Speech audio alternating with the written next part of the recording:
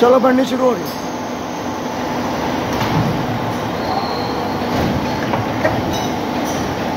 अगली लाओ अगली लाओ।